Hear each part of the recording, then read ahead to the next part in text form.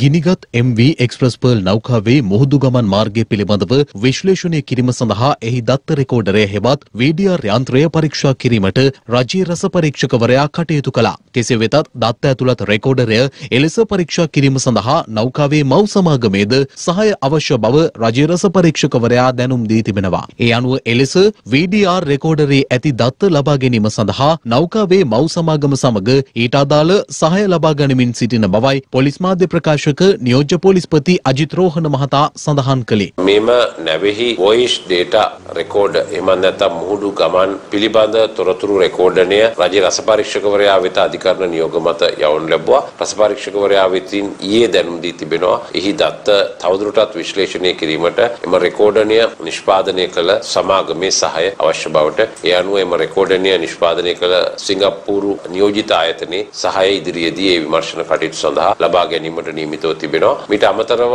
නැවී කපිතාන්වරයා සහ නැවේ මව් සමාගමත් එවැගේම නැවේ කපිතාන්වරයා සහ කොළඹ පිහිටි දේශීය සමාගමත් අතර ඇති වූ පණිවිඩ පිළිබඳ සංවේදන මේ වන විට විශ්ලේෂණය කරමින් පවතිනවා. විශේෂයෙන්ම මේ නැවෙහි කන්ටේනරයක කාන්දුවක් සිදුවීම පිළිබඳ කුමන අවස්ථාවේදී දැනුම් දීමක් කර තිබුණාද? ඒ සම්බන්ධගත් ක්‍රියාමාර්ග මොනවාද? මේ කරුණු සම්බන්ධයෙන් විශ්ලේෂණය කරමින් තවදුරටත් ප්‍රකාශ සටහන් කිරීමටත් වැඩිදුර විමර්ශන සිදු කිරීමටත් නියමිතව තිබෙනවා. මේ අතර ඉදිරියේදී නෞකාවේ දේශීය ඒජන්ත සමාගමේ නියෝජිතයින්ගෙන්ද අපරාධ පරීක්ෂණ දෙපාර්තමේන්තුව ප්‍රකාශ සටහන් කර ගැනීමට නියමිත බවද පොලිස් මාධ්‍ය ප්‍රකාශකවරයා වැඩිදුරටත් ප්‍රකාශ කළා.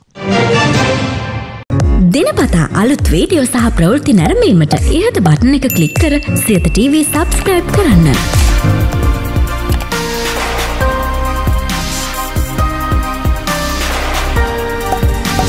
වීඩියෝ ගැන මුලින්ම දැනගන්න මෙම සීනුව ක්ලික් කරන්න.